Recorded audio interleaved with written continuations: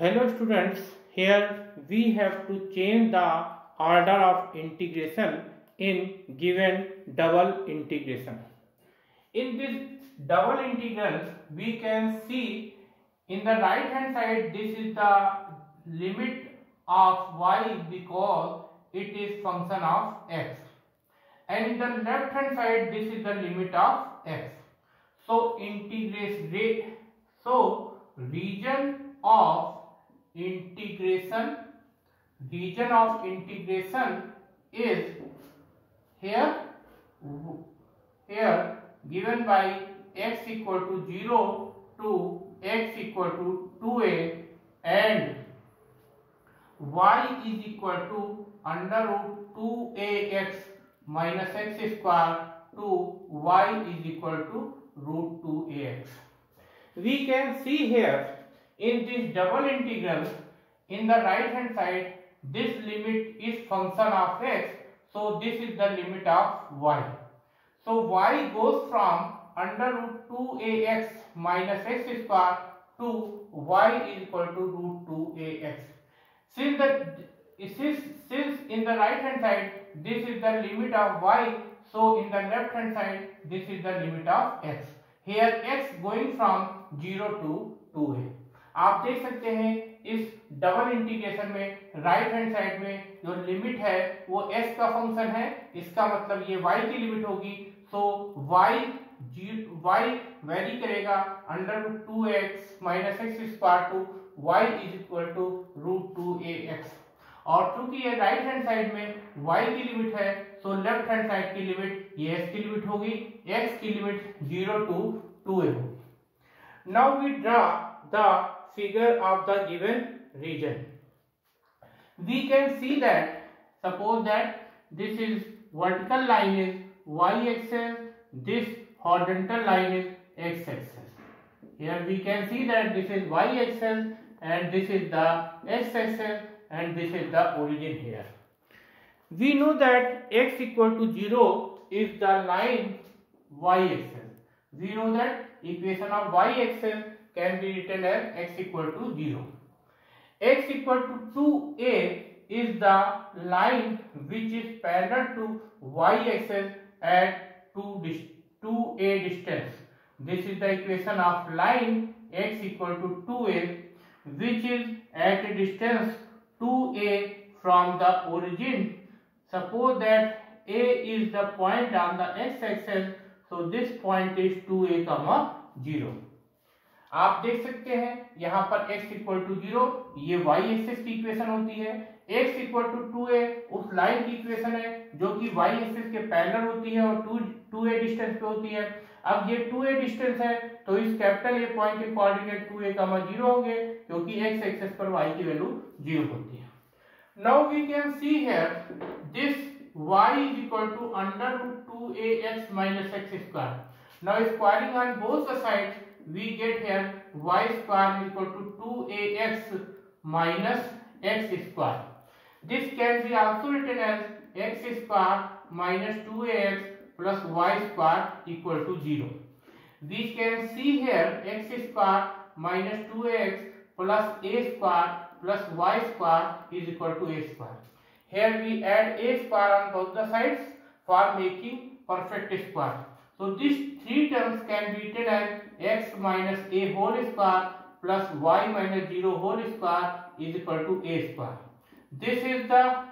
equation of circle whose center at a comma 0 and radius small a.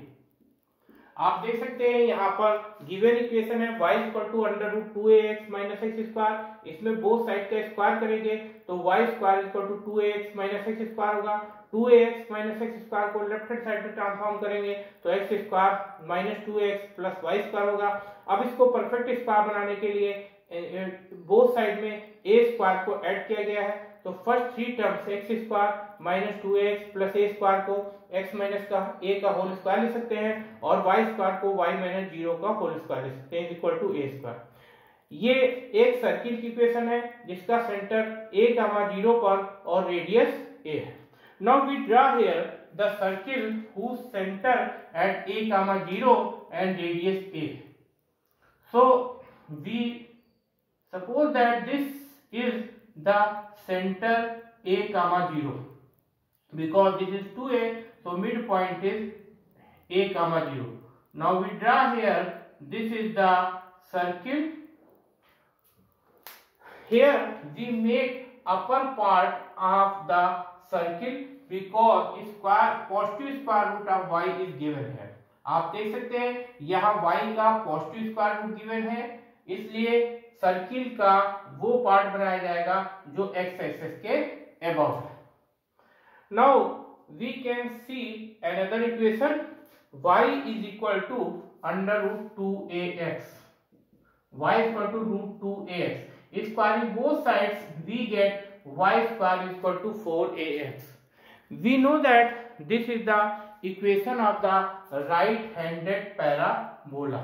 This is the right-handed parabola. This is right-handed parabola whose vertex at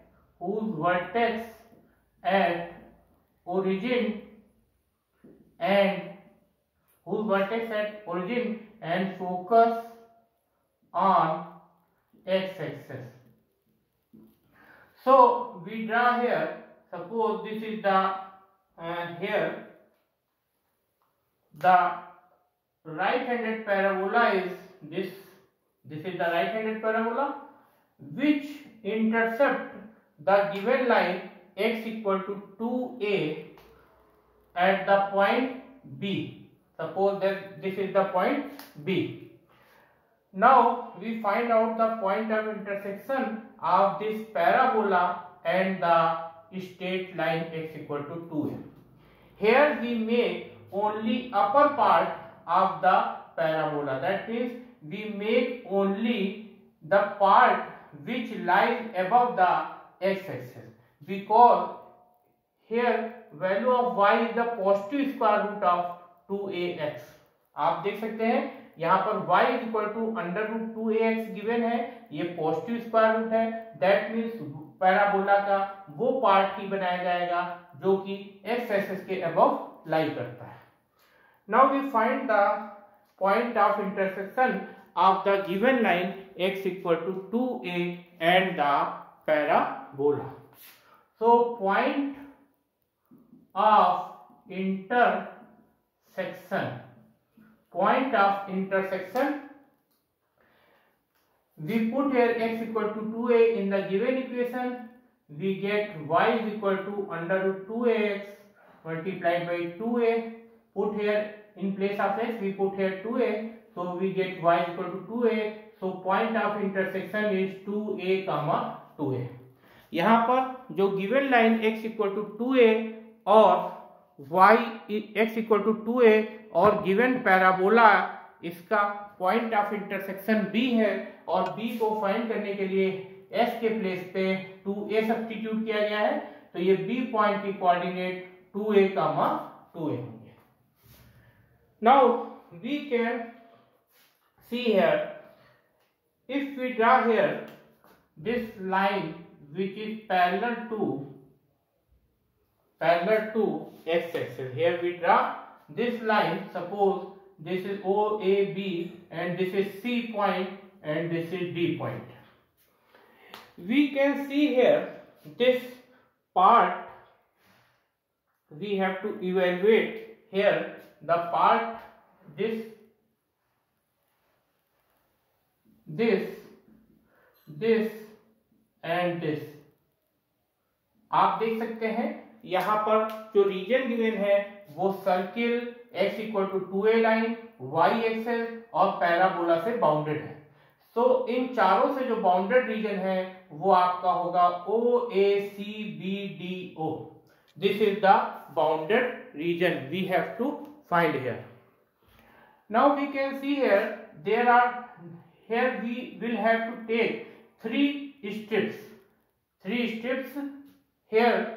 when we change the order of this integration since in the right hand side there is function of x so we take strip parallel to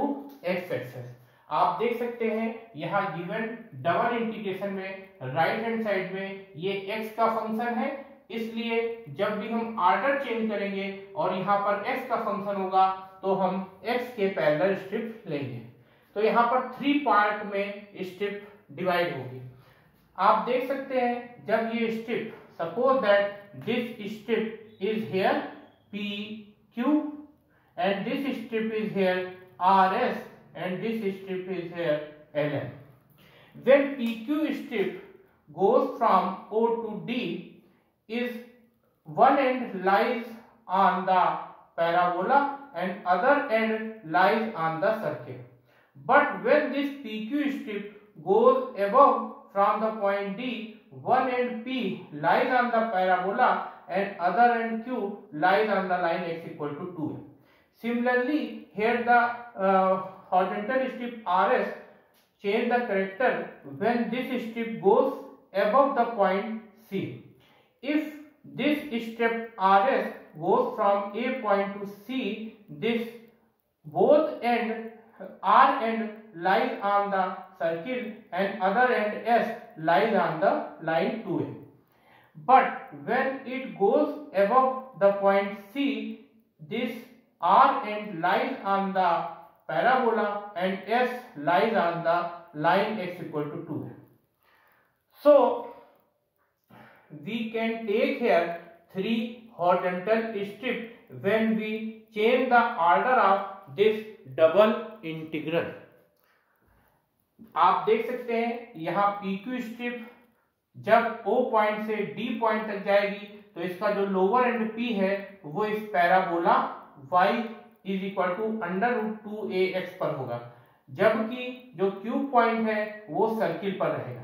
लेकिन जब P Q strip D के एवब move करेगी तो P and आपका parabola पे रहेगा लेकिन Q end इस circle x equal to two a पे आएगा तो डी पॉइंट के ऊपर जाने पर ये पी क्यू का करेक्टर चेंज हो रहा है सिमिलरली जो आर एस हॉर्जेंटल स्ट्रिप है इसका लोअर एंड आर इस सर्किल पर है और अपर एंड एस वो x equal to two a line पे है जब ये R S strip C point के अब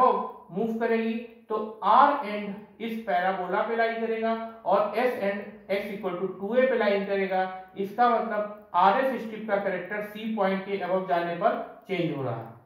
So we take here third strip LM which goes from C point to B point. Here lower end L always lies on the parabola and upper end M lies on x equal to two है आप देख सकते हैं यहाँ L M strip जब C point से B point तक move करेगी तो लोअर एंड एल पैराबोला पे लाई करेगा जबकि अपर एंड एम ये x equal to two a line पे लाई करेगा इसी तरीके से पी क्यू स्ट्रिप जब ओ पॉइंट से डी पॉइंट तक जाएगी तो लोअर एंड P वो पैराबोला पे लाई करेगा और अपर एंड Q वो सर्किल पर लाई करेगा जबकि आर एस स्ट्रिप का लोअर एंड जब A पॉइंट से C पॉइंट तक मूव करेगी आर एस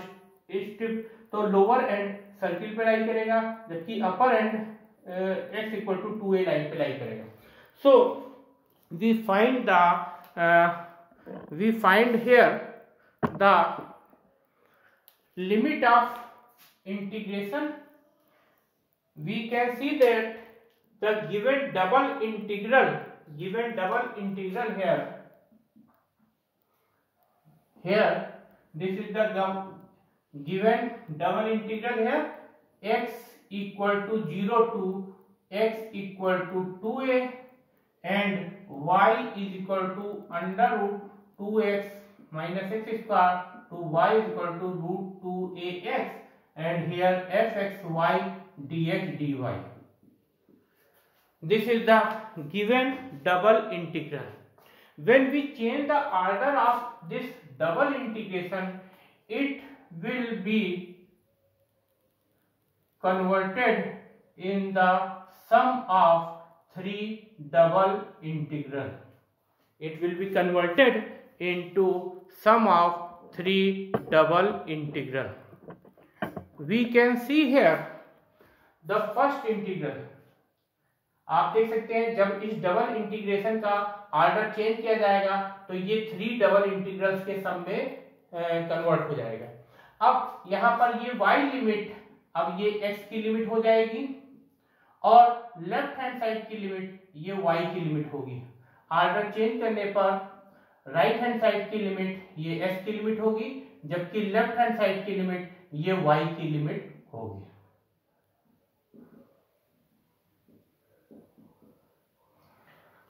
आप देख सकते हैं जब इस डबल इंटीग्रल का आर्डर चेंज किया जाएगा तो जो लेफ्ट हैंड साइड की लिमिट होगी वो y की लिमिट हो जाएगी जबकि राइट हैंड साइड की लिमिट s की लिमिट हो जाएगी So we can see here this PQ strip. When PQ strip goes from O to D point, this limit of x is since P point lower end P, lower end of PQ strip lies on the parabola. So lower limit of this end P get from the equation of parabola. So from equation of parabola, we can see that x equal to y square upon 2a. So we write here x is equal to y square upon 2a. And the upper end q lies on the circle. So we find the value of q point that means upper limit of x from the equation of the circle. So we can see here the equation of the circle is x square minus 2x plus y square equal to 0. This is the quadratic in x. So we can write this is 2a plus minus under root 4a square minus 4y square upon 2. So this can be written as a plus minus under root a square minus y square. Here we can take negative negative sign so we get here value of x is a minus under root a square minus y square and when we take positive sign we get value of x is a is equal to plus under root a square minus y square आप देख सकते हैं यहाँ पर given circle की equation x square minus two x plus y square है इससे हम एफ की अपर लिमिट फाइंड करेंगे तो एफ की अपर लिमिट फाइंड करने के लिए सीधा चार फार्मूले का यूज करेंगे उससे एस की दो वैल्यू मिलेंगी a minus under root a square minus y square और a plus under root a square minus y square तो यहाँ पे हम सब्सटीट्यूट कर देंगे a minus under root a square minus y square और वाई की वैल्यू हम देखेंगे तो वाई की वैल्यू यहाँ पर आपकी हो जाएगी y की वैल्यू जो है वो लोअर एंड पी और अपर एंड क्यू जब ओ पॉइंट से डी पॉइंट तक जाएगा तो ओ पॉइंट पर इसकी वाई की वैल्यू जीरो होगी जबकि डी पॉइंट पर जो वाई की वैल्यू होगी वो स्मॉल ए के बराबर होगी क्योंकि सर्किल की रेडियस स्मॉल ए है similarly in the second integral we can see that this rs strip goes from a to c point when RS strip goes from A to C, the value of Y goes from 0 to A. So the lower limit of Y is 0 and upper limit of Y is A. आप देख सकते हैं जब R S strip A point से C point तक move करेगी तो Y में जीरो टू ए तक जाएगी और lower end S lower end R जो है इससे एस की लिमिट निकाली जाएगी और एस की लिमिट होगी a plus under root a square minus y square जबकि upper end S straight line x equal to two a पर है तो यहां से अपर लिमिट टू ए हो जाएगी और ये हो गया f x y d y d x similarly in the third integral similarly in the third integral we write here value of y and value of y here and this is x and this is x तो आप देख सकते हैं जो third strip L है जब C point से B point तक मूव करेगी तो वाई में ये सी पॉइंट के कोऑर्डिनेट ए सी पॉइंट के जो कोऑर्डिनेट है वाई में वो कितने होंगे आपके ये टू ए कामा ए तो वाई में ये ए पॉइंट से टू ए पॉइंट तक मूव करेगा जब L M strip C point से बी पॉइंट तक पास होगी तो ये वाई में डिस्टेंस कवर करेगी ए टू टू ए जबकि एल एम स्ट्रिप का लोअर एंड पैराबोला का है तो पैराबोला से इसकी लोअर लिमिट निकाली जाएगी और पैराबोला से लोअर लिमिट आएगी y square upon two a और upper end M line on the line x equal to two a so the upper limit is x equal to two a we can see that this this LM strip goes from point C to B This covers the distance uh, distance y distance from A to 2A. So the limit of y is A to 2A. And this lower end L lies on the parabola. So the lower limit of x uh, get from the equation of parabola that is y square upon 2a and upper end m lies on the line x equals to 2a. So upper limit of x can be find from the line x equal to 2a. So this integral can be written as 0 to a and y square upon 2a a minus under root a square minus y square f x y dy dx plus 0 to a and a plus under root a square minus y square to 2a sxy d y d x plus a to two a and y square by two a to two a and S